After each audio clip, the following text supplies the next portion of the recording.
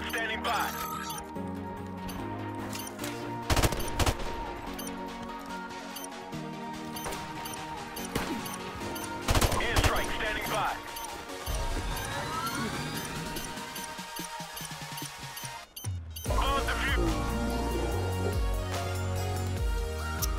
Hallo folkens, mitt navn er som alltid Monsi. Jeg har vært en fantastisk dag, så langt velkommen skal du være til enda commentary på min kanal.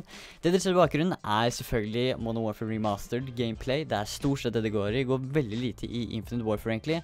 Har spilt eh, 95% av all tiden jeg har spilt uh, av de nye Cold Duty-spillene, så har det vært Mono Modern Warfare Remastered, og jeg syns det er kjempegøy.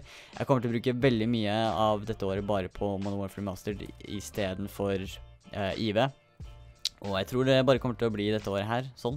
Uh, vi får nesten se det an. Kanskje det er noen oppdateringer sånn som eh, endrer min mening. Men uansett, det var ikke det jeg skulle snakke om. Det jeg hadde lyst til å ta opp i dag, var et tema uh, som jeg hadde lyst til å Egentlig hadde lyst til å snakke om ganske lenge, egentlig.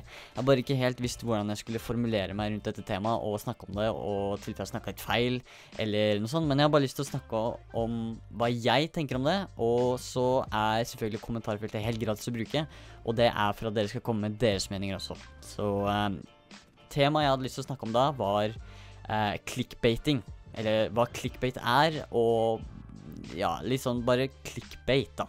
Eh, for de som ikke vet hva det er, eh, så er det egentlig det jeg skal forklare i denne videoen. Det er på en måte Det man tolker som clickbait, da, når man hører ordet clickbait, så, så tenker man på som en veldig dårlig ting, en negativ ting. Sånn at eh, hvis du ser en YouTube-video hvor det er masse utropstegn, og det er en skikkelig fresh eh, jentestump, om jeg det om jeg kan kalle det. Og det er bare masse sånn 'Å, herregud, må se denne videoen'. Masse utropstegn, som sagt. Og det er bare Gjør alt man kan for å få seeren til å trykke på den videoen, eller artikkelen, om det er det det er, eller bare hva som helst. Målet er da at avsenderen skal få eh, en eller annen til å trykke på sin video eller artikkel eller tekst eller whatever. Uh, det er på en måte clickbait å få uh, en eller annen til å trykke på sin uh, greie. Og jeg vil si det er to forskjellige clickbaits. Eh, det er en negativ, og så er det en positiv. Eh, den positive er eh, skal, Vi kan komme med et eh, eksempel her, da. Um, hvis vi f.eks. sier at eh, du har laga en Pokémon Go-video, og du har fanga en legendary Pokémon. OK? Eh, da kan du kalle liksom La oss bare ta et veldig lett eh, eksempel her.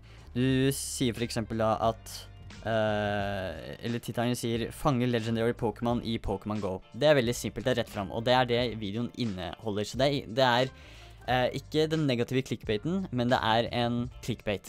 Fordi du kunne også kalt videoen din for Pokémon Go-video. Fordi det er jo en Pokémon Go-video.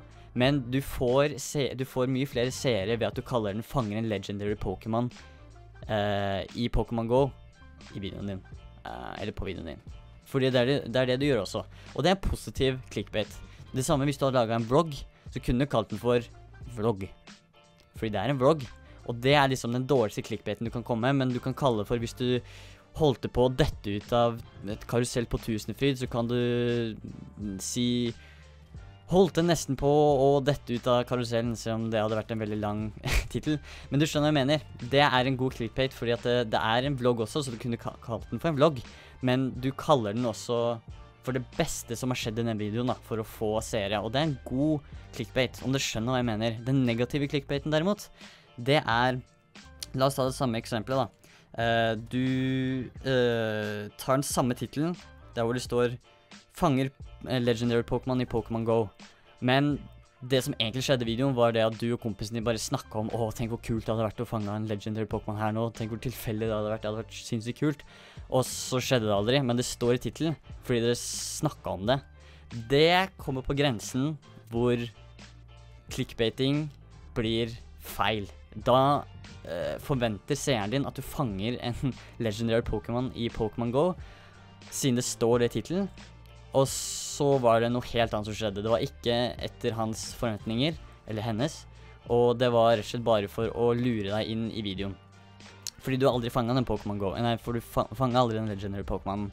Um, men hvis du hadde da hatt en video hvor du fanga den, og det sto da uh, 'Fange legendary Pokémon i Pokémon Go', så hadde det vært en clickbait. Fordi du får seeren din til og tenke hm, jeg har lyst til å se hvordan han fanga en Pokémon, eller hva slags Pokémon det var.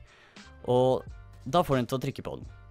Um, skjønner du litt hva jeg prøver å mene? Jeg er veldig dårlig til å forklare, syns jeg. Men jeg prøver liksom å hjelpe deg til å forstå hva som er god og dårlig clickbait.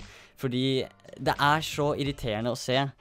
Jeg syns bare det at i løpet av disse kanskje ja, vanskelig å si to årene i hvert fall, så har det liksom gått ekstremt mye opp i clickbait.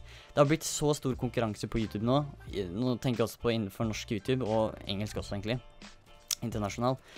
Og det har blitt så stor konkurranse at man, det er veldig mange som mener at ved å clickbaite på den negative måten, så vokser du. Det er da du får suksess. Men det er liksom å få en snarvei til suksess i gåsetegn. Du får verken suksess fordi alle hater deg, egentlig, nesten, ved at du bare lager clickbait-videoer, men folk trykker på det likevel fordi du, du har sånne sinnssyke titler, selv om det ikke inneholder det i det hele tatt. Jeg vet egentlig ikke helt hva mer jeg skal si, jeg. Men uh, hvis du noen gang lager en video, da, og, uh, og du ønsker å få en god tittel eller få mange visninger, la være å bruke negativ clickbait, men ta heller og finn den beste, det som var det mest interessante, og det folk kommer til å ville besøke videoen din for, og lage en tittel ut ifra det. På best mulig måte, sånn at seerne dine ønsker å trykke på videoen fordi det høres interessant ut, og i tillegg da får det de ønsket å se. Eller forventa å se òg, da.